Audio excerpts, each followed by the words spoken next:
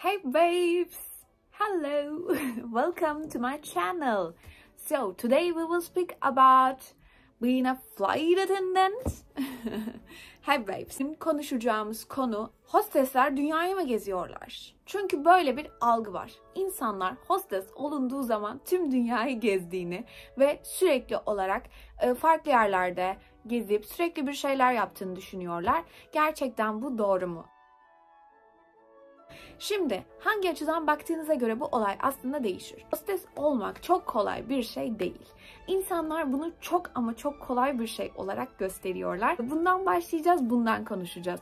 Öncelikle bu kavramları daha tam olarak bilmeyen kişiler için küçük bir kavram konusuna yardımcı olmak istiyorum.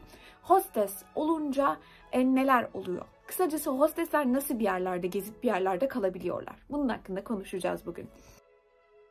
Hostesler eğer ki uçuşlarında yatıları varsa, yatı kelimesi aslında bu mesleğin içerisindeki en önemli ve en çok sevilen kelime. Uçuşunuz var. Siz İstanbul'dan Van'a uçuyorsunuz ve e, Van'a uçtuğunuz zaman da Van'da 1-2 gün boyunca farklı uçuşlar yapıyorsunuz. Van'da kaldığınız, Van'da bir otelde konakladığınız ve Van'dan diğer yerlere uçuşunuzu yaptığınız olay aslında yatı olarak geçmekte. Yatıyı bir de farklı bir şekilde anlatayım daha çok hoşunuza gidecek şekilde. Örnek olarak ben Antalya'da yaşıyorum ve Antalya'dan e, Fransa'ya yatı yapıyorum.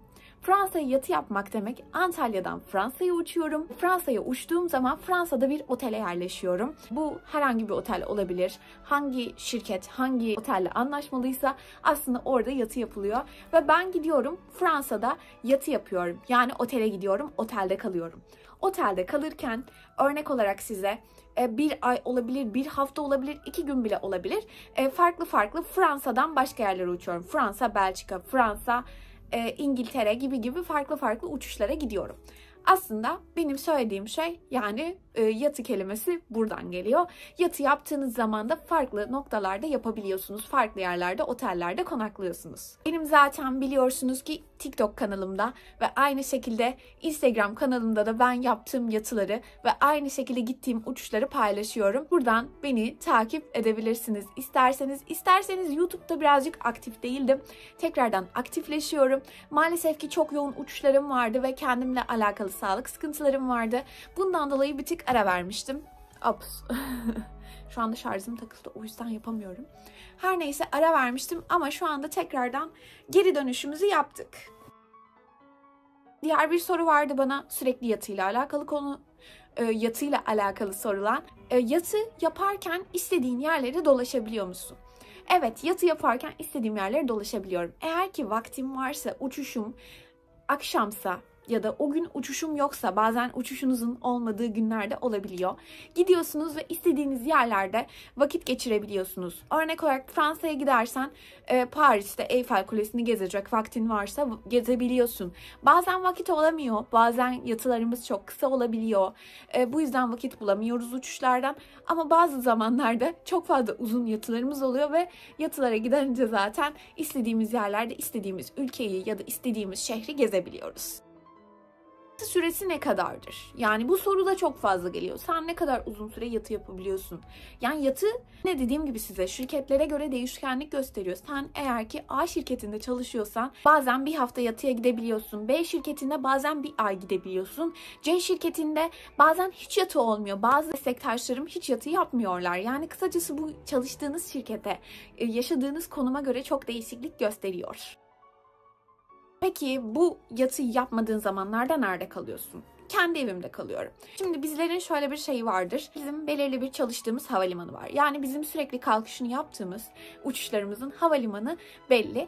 Ben zamanında İzmir Havalimanı'nda çalışıyordum. Şu anda Antalya Havalimanı'nda çalışıyorum. Yani belirli bir havalimanından neredeyse bütün kalkışlarımı yapıyorum. Yatı dışında.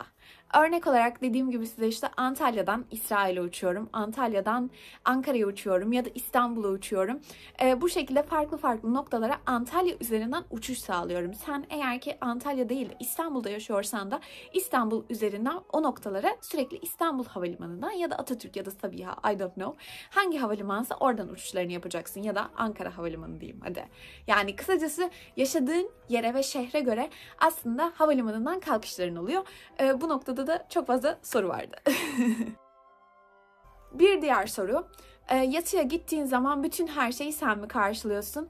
Bu şirketlerin politikasına göre değişir. Ancak yatıya gittiğin zaman zaten sen çalışmaya gidiyorsun. Orada uçuş yapmaya gidiyorsun. Uçuş yapmaya gittiğin için de otomatikman bu e, kaldığın noktayı şirket karşılıyor. Onun dışında yeme içme ya da bir yeri dolaşacaksan ekstra kendi harcamalarını da tabii ki de kendin karşılıyorsun. E, belirli bir miktarda paran olması gerekiyor. Yani gittiğin zaman eğer ki bir şeyler yapmak istiyorsan aslında kendi cebinden bir şeyler çıkartman gerekiyor. Bir diğer soru. Her yatı yaptığın yeri kendin mi seçiyorsun? Hayır. Yatı yaptığım yerleri ben kendim seçmiyorum. Yatı yapılan yerler aslında daha öncesinde benim için seçiliyor. Yani kısacası bunu aslında başkaları seçiyor ve ben buna göre gidiyorum. Atıyorum size ben bu ay Paris'e gitmek istiyorum deyip de Paris'e gidemem. Çünkü eğer ki benim çizelgemde Paris yoksa ben o ay Paris'e yatı yapamam gibi bir olay. Yani siz ne açıdan bakıyorsunuz bilmiyorum ama dünyayı gezmek olayı aslında hosteslikte dediğim gibi size yatınızın olduğu yere göre değişiyor ya da çalıştığınız şirkete göre değişiyor. Her hostes her zaman dünyayı gezemiyor. Çalıştığınız şirketlerin büyüklüğüne göre gezdiğiniz yerlerin çoğunluğu da değişiyor. Çok büyük bir şirkette çalışıyorsan sen Japonya'ya da yatı yapabiliyorsun. Ama çok acayip büyük bir şirkette çalışmıyorsan Japonya yatın olmayacaktır. Ya da farklı farklı noktalar. Dubai yatısı olan şirketler var. Ya da atıyorum işte Türkiye içi yatılar bütün şirketlerde var neredeyse ama yurt dışında her yerde yatı yapılmıyor bütün şirketlerde. İsrail yatısı var da atıyorum sizlere Rusya yatısı var. Bu tarz yerlerin yatıları neredeyse bütün şirketlerde mevcut. Ama tabii şirketten şirkete değiştiği için de size kesin ama kesin böyle diyemiyorum. Çünkü bu dediğim gibi size şirketlere göre değişkenlik gösteriyor e, yatıya ailemi götürebilir miyim? Hayır götüremezsin.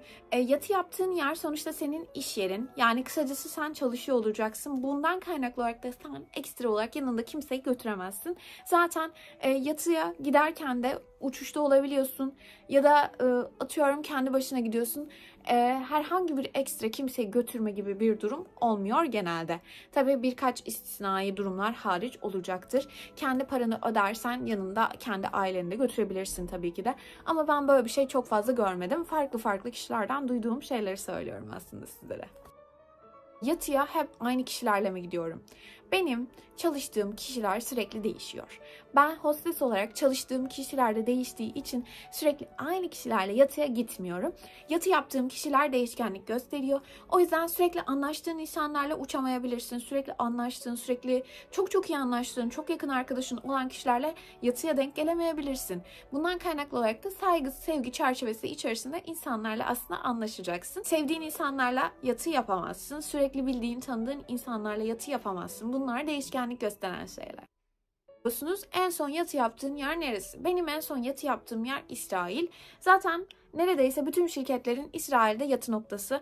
Ee, İsrail birçok farklı ülkeye ulaşılabilen kolay bir havalimanı noktası olduğu için İsrail'de çok fazla uçuş yapılıyor ve aynı şekilde yatı yapılıyor. İsrail Güzeldi. Ben gidiyorum, orada kalıyorum. Kalırken otelden yemeğimi yiyorum. En son gittiğimde yemeğimi yedim. Ee, sonrasında dinlendim çünkü uçuşum vardı. Uçuşuma dinleniyorum. Oteli kullanabiliyorum. Bazı noktalarda havuzuna girebiliyorum veyahut farklı farklı noktalarını gezebiliyorum ücretsiz olarak. Ee, bazı tabii ekstra şeyler ücretli oluyor ama onun dışında genel olarak oteli kullanıp etrafında gezebiliyorum.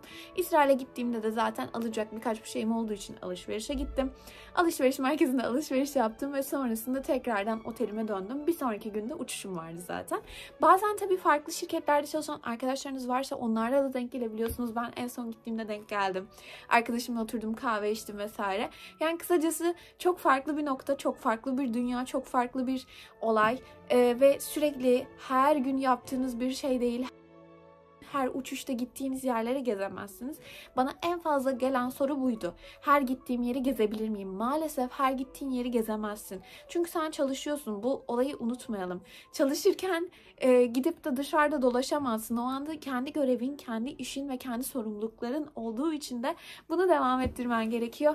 Bugün konuşmak istediğim şey aslında böyle kısa bir şeydi. Çünkü bu konu çok fazla anlaşılmamış. Çok fazla video çekmeme rağmen biliyorsunuz TikTok'ta sürekli video çekiyorum bununla alakalı ama çok fazla soru vardı. Dedim ki bunu beraber koyalım. Bunun beraber bir videosunu çekelim. Sonrasında zaten konu değişikliği yapacağız. E, bugünkü konumuz yatıydı. Hosteslerin yatılarıydı. E, genel olarak host hostesler yatı yapıyor muydu? Genel olarak son kez söylüyorum. Evet yapıyorlar. Bazı şirketler ama yatı politikası yok. Yani yatı yaptırmıyor bazı şirketler ya da bazı genel merkezler, uçtuğunuz merkezler yatı yaptırmayabilir. Yani bu kısacası şirketlere, yatı yapacağınız yere ve her şey her şey olaylara göre değişiyor. Video. Onun dışında ne söyleyecektim ya. Evet, ayda kaç kez yatı yapılır? Bir de bu, bu soru var. Şöyle söyleyeyim size bu da çok değişken bir şey. Hani genel olarak değişken, değiş, değişiyor. Yazın çok fazla yatınız olabilir. Ee, ayın yarısını yurt dışında geçirebilirsiniz.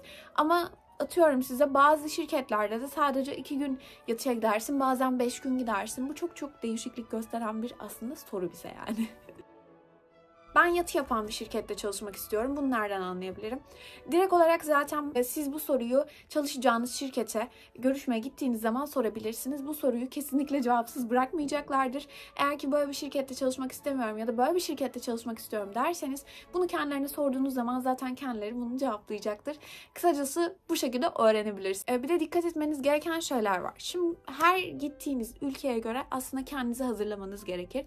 Çünkü yatıya giderken e, aslında sen Türk kafasıyla gidiyorsun ama farklı noktalara gidiyorsun. O insanların farklı kültürleri olabilir, farklı alışkanlıkları olabilir. Bundan kaynaklı olarak gitmeden önce kontrol edersin. Bakarsın nasıl bir yermiş.